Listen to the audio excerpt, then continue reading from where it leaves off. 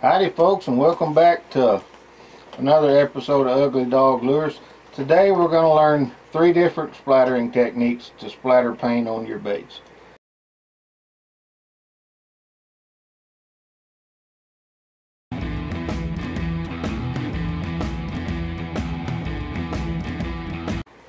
Why don't we just jump in there feet first. If you're new to the channel, welcome. Thank you for subscribing. Be sure you hit that notification bell and hit that thumbs up button. Help me with them algorithms. So our first technique that we're going to use, y'all have seen me use many times. You see that folks, I got lightning fast reflexes. If that had been a beard feeling off the table, that'd have been faster. But uh, we're going to use the toothbrush, met toothbrush method first. So I've already got this ready to go. Uh, just need to mix some paint get me a drink. And by the way folks, we did have a funeral. I got me a new blow dryer. Had to bury the old one. It finally died on us. So, the first thing we're going to do is we're going to get our paint out here.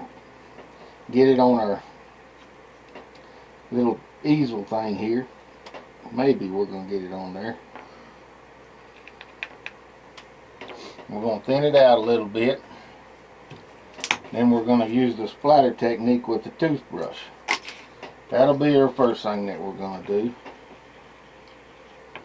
I got to thin this out pretty good here. So, if you get it too thick, it don't want to come off that toothbrush very easily. So, so we're just going to thin it up a little bit.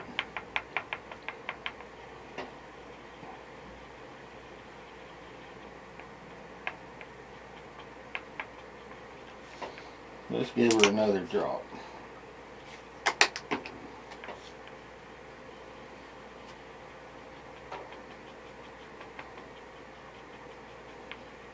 Oh, there we go. I want to get some paper towels down here, a couple of them,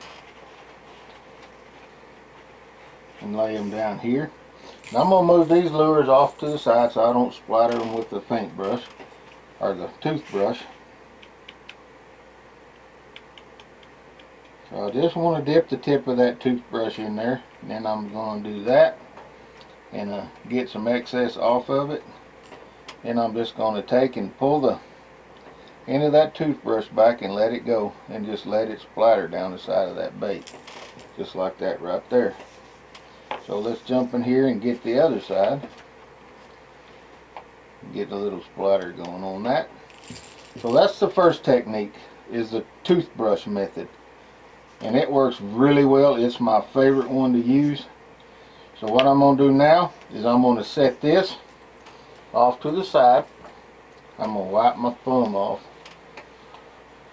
And uh, we're going to move on to a paintbrush method. So we got that cleaned off. So the next method we're going to go with is the paintbrush method. And you just need like a pair of needle nose pliers get you a bait over here. I need another stand over there. So, so this method is similar but different. Move that right over there behind Bob. You protect that lure. So we're going to take our brush. We're going to dip our brush. And kind of the same thing. We're going to pull it out on there. Then we're just going to take our brush and just smack it against. Just like that right there. And you get as, as much as you want on there as little as you want on there. So. Well, it's cleaner than putting it on your finger. Hey, leave me alone. So that's that's your call as to how much you want to put on there. So. That's the second method. His tail is barren. He needs more on his bottom side. No, he does not. He's perfect. Just the way he is. He's missing the whole patch. Poor guy. He's done. And just clean your little brush out so that you can use it again next time. And those are some weird brushes. Tell them where you got those brushes from. These brushes came from Dollar Tree. You get them like three for a dollar. You see how it's splattered all over my table now? That's alright. I know who'll clean it up. Now on to the last method, which is uh, the one that I like the least, but it is a way to do it. Crank your air pressure up on your gun.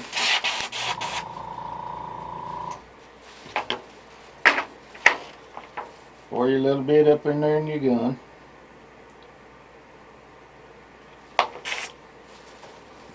And just trip your trigger real fast.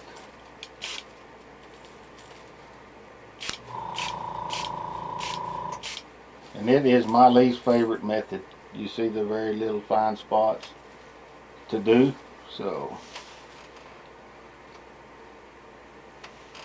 so it's my least favorite method to do.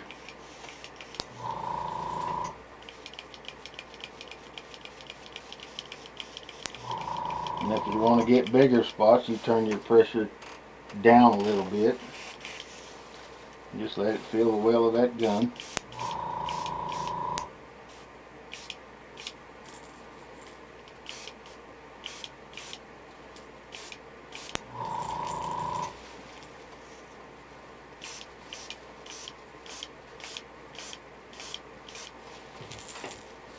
Then you squirt it at your wife.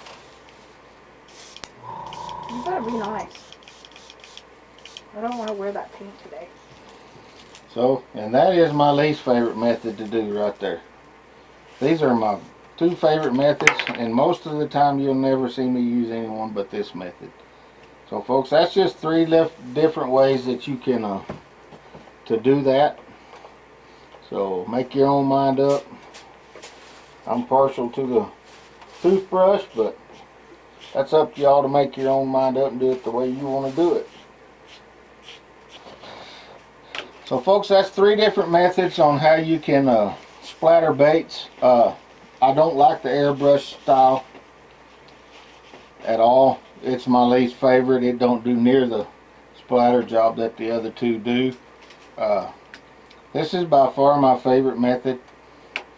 And this is the second one and the airbrush is the last. I don't like to do it with my airbrush. But, uh, you know, that's your call if you want to do it with your airbrush. Or if you're thinking of getting an airbrush. Just remember to like subscribe and share to my channel. Hit that notification bell and hit that thumbs up. And we'll catch you later